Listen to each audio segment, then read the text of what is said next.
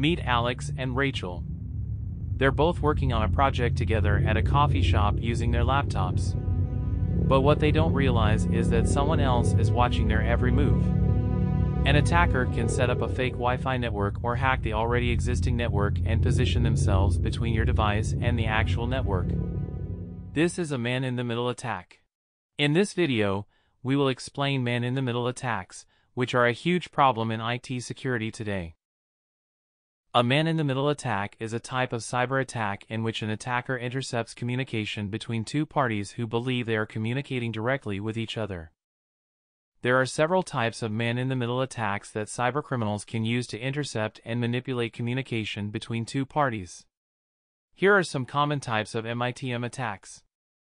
IP spoofing, DNS spoofing, HTTPS spoofing, Wi-Fi eavesdropping, Email hijacking. ARP poisoning. Now let's review some of these attacks in more detail. ARP poisoning attack is the most common and potentially most dangerous man-in-the-middle attack. ARP translates between IP addresses to the MAC addresses of the device. Under normal operation, the user communicates with a web application via the gateway device or router using a MAC address. In man-in-the-middle attack, the attacker sends out falsified ARP responses for a given IP address, typically the default gateway for a particular subnet.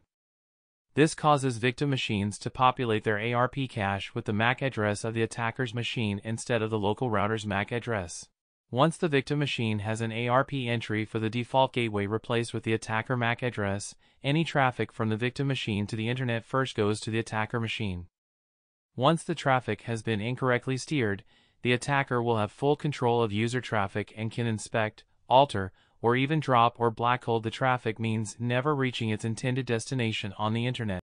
Or the attacker will send it to the internet but still be in the traffic path, so any traffic from a user to the internet is fully visible to the attacker. DNS spoofing, also known as DNS cache poisoning, is an another type of man-in-the-middle attack where the attacker redirects a user to a fake website or server by manipulating the domain name system resolution process. When a user types a website URL in their browser, the DNS resolver on their device sends a request to a DNS server to resolve the domain name to an IP address. If the DNS server has a valid mapping for the domain name, it returns the corresponding IP address to the user's device. The user's device then uses the IP address to connect to the requested website. In a DNS spoofing attack, the attacker intercepts the DNS request and sends a fake DNS response to the user's device with a different IP address, redirecting the user to a fake website or server.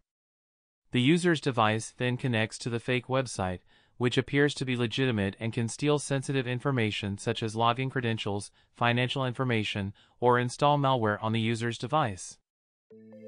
These are just a few examples of the many types of MITM attacks that cybercriminals can use to intercept and manipulate communication.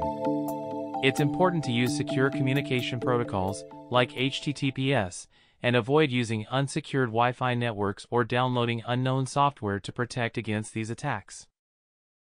Thanks for watching.